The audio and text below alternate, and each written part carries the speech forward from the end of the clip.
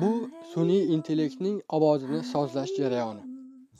Yaqinda janubiy koreya televideniyasida 1996 yili olamdan o'tgan kim kvang siyokning ovozida ijro etilgan yangi qo'shiq qo'yib eshittirildi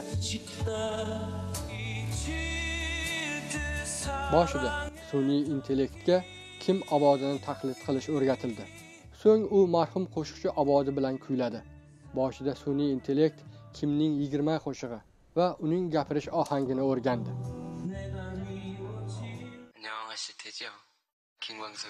Keyin yetti yuzdan ortiq ashulani kim ovozi bilan aytib repetitsiya qilib ko'rdi. U ovozini qizitib olgach yanada yaxshiroq kuylashni eshitib hayron qoldik. A ye i o u deb mashq qiladi.